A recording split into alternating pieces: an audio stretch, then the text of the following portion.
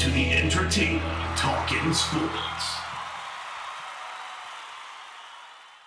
What is going on, football fans? Back at it with another New York Giants video. And in this video, I am going to talk about some of the quotes that came out of James Bettcher's mouth today in response to the criticisms by veteran cornerback Janoris Jenkins. Now, of course, if you didn't realize, Janoris Jenkins, um, who's been critical of the team in general a few times this year, earlier in the season, week two, it was of the players on the team.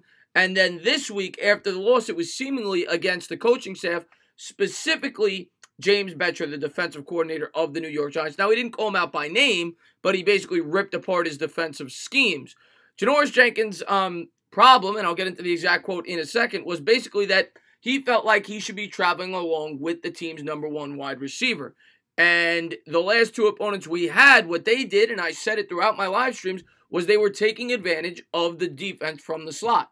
We had an inexperienced player playing the slot in Corey Ballentine. And then I believe last week, um, it might have been Ballentine. I don't even remember. It might have been Haley. Regardless, they were picking us apart in that same position again. Davante Adams, who was by far the Packers' best wide receiver, was lining up in the slot and taking advantage of the New York Giants' deficiencies. And Janoris Jenkins felt like he should have been the one guarding Davante Adams. Now, of course, if you go all the way back to week three, when the Giants had him follow around Mike Evans. Mike Evans tore him to shreds. Now, it was a one on one matchup, if we're being fair, and he was not getting any help over the top.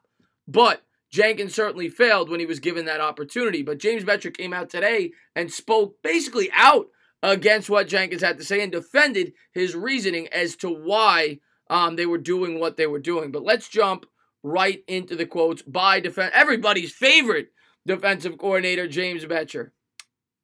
Here is the first quote. This is actually the quote off of Janoris Jenkins' mouth after the game on Sunday. First of all, you got to use your weapons, Jenkins says Sunday. It's common sense. Football is football. I'm the only one in the league that don't travel no more. I don't understand why, but I was traveling the other years. I don't understand. When saying he doesn't travel, he means he doesn't travel against the team's best wide receiver.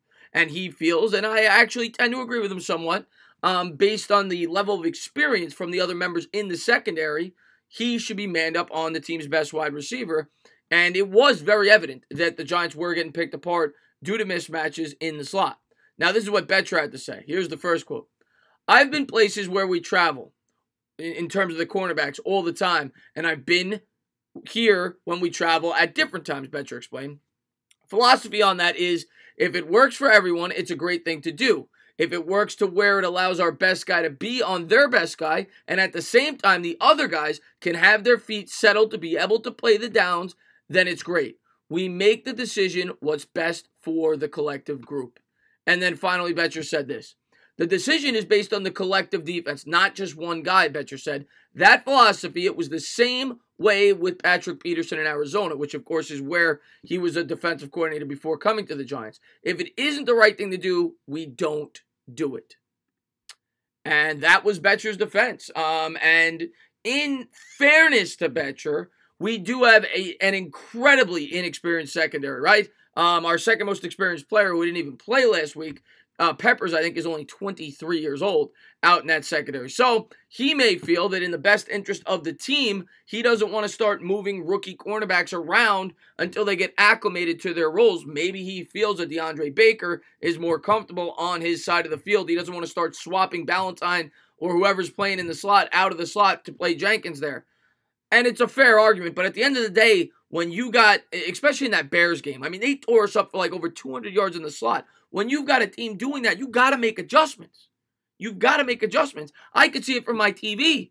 And Bettcher should know that. And Bettcher's got to make adjustments. Now, the initial game plan, okay, I get it. You want guys to be comfortable. They're rookies. They got to get used to their roles. I understand that, Bettcher, okay? But when Ballentine is getting picked, he's killed.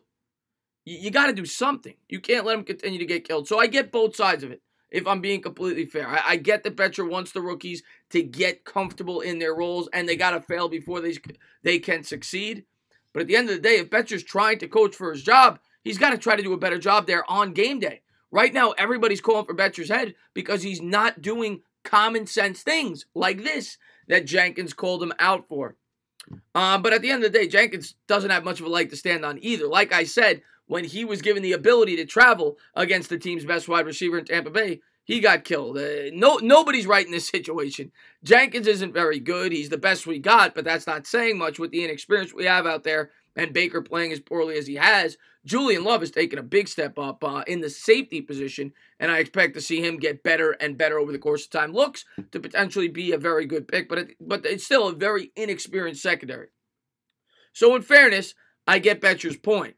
But sometimes you got to make adjustments. In the last two weeks, we've been getting killed, and we'll see if Bettcher uh, does expand Jenkins' role this week and moves him around to spy Alshon Jeff- Jeffery, whoever they deem is the team's biggest threat. But as always, if you liked what you watched, please subscribe, drop a comment, maybe give me a little thumbs up. Cheers.